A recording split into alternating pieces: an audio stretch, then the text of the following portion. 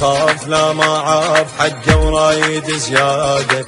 ما نام بيه أيام حد ما ردت أولاده.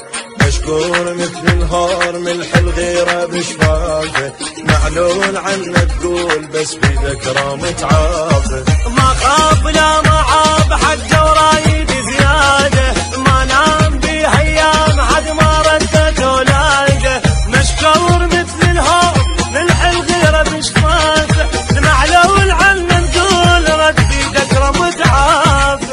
عليه تنفصل أفصال الرجول. يا ابو الغيرة يا رافع للزلم راس. ولا تتعب تهب صوله على صوله. مثل قاع الشريعة وخرق عباس الجنودة مشهودة حلف القاع واسألها. تلقيها الشيء